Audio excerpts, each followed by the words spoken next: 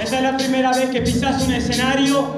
Ya, este es tu calvario. Le está haciendo preguntas, bro, del hombre equivocado. Sí, bueno, dentro de las actividades enmarcadas en el mes o los meses de la juventud, es que tenemos en esta oportunidad el rap de acá, la tercera edición, eh, en el área de música que venimos desarrollando muchas actividades. Así que, bueno, el rap de acá que comenzó eh, al principio con micrófono libre, donde todos aquellos podían subir al escenario. Luego tuvimos eh, una batalla y ahora sí los raperos que siempre nos acompañan y apoyan a la Dirección de Políticas de Juventud en diferentes eventos, dando la oportunidad a aquellos artistas jóvenes del departamento en, en este género musical a que puedan difundir su música de tanta calidad como, como podemos observar y escuchar en este momento. Teniendo toda la colaboración y el apoyo, por supuesto, de la Dirección de Deportes también. Sí, bueno, la Dirección General de Deportes, Eventos y Juventud, trabajamos en, manera coordinada y este es un gran evento que, se llenó no solo de eh, adolescentes, jóvenes, sino también de familia que está apoyando este, este género y esta música de calidad que tenemos en el departamento. Estamos mirando que también los raperos vienen acompañados de su familia, de sus padres. Sí, es un evento que, convoca mucho, tienen su público, su, fan y, es lindo. Nuestro grupo objetivo son adolescentes y jóvenes, pero que es un evento abierto a la familia, eh, nos llena, nos llena de gratitud. ¿Qué cantidad de jóvenes está participando? Y hoy contamos con más de 250 jóvenes que están participando en esta oportunidad. Estamos esta noche para juntarnos acá, disfrutar de lo, que es el rap de acá, un espacio súper importante para nosotros haber conseguido esto, haber logrado esto, este, también como artista y soy parte de la organización, este, como la nombre, bajo el nombre de Limonada Team.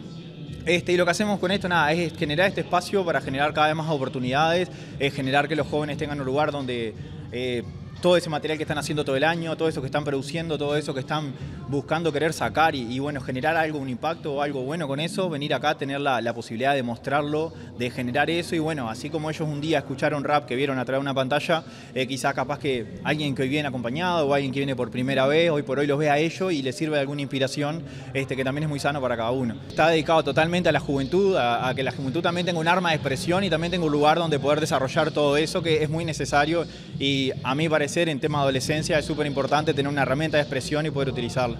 Sí, la tercera edición de rap de acá, este, la verdad que es, impresionante haberlos visto crecer. Estos chicos empezaron este, a tener contacto con nosotros en 2017, cuando empezaron a, a generar la batalla de freestyle de TPT ese fue nuestro primer contacto con ellos y fue increciendo esto. Con la pandemia los chicos empezaron a grabar música, porque no se podían juntar a, este, hacer sus batallas de freestyle, entonces empezó a grabar música.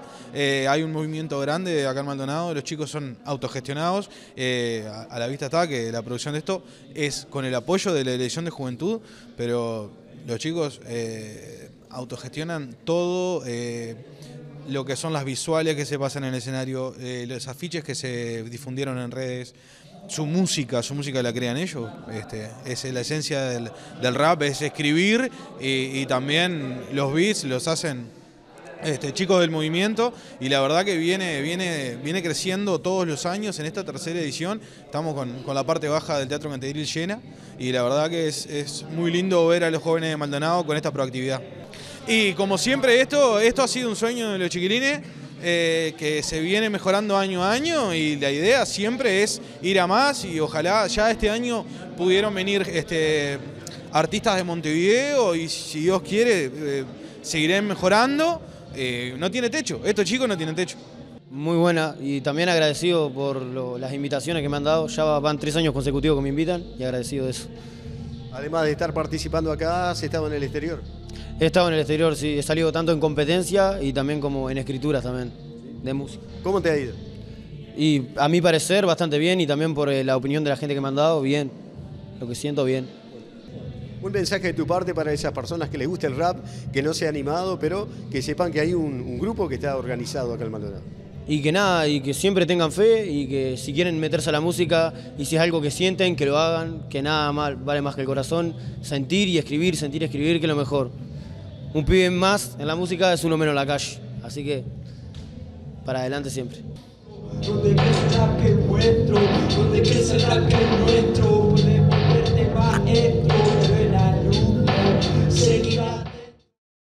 Intendencia de Maldonado, construyendo futuro.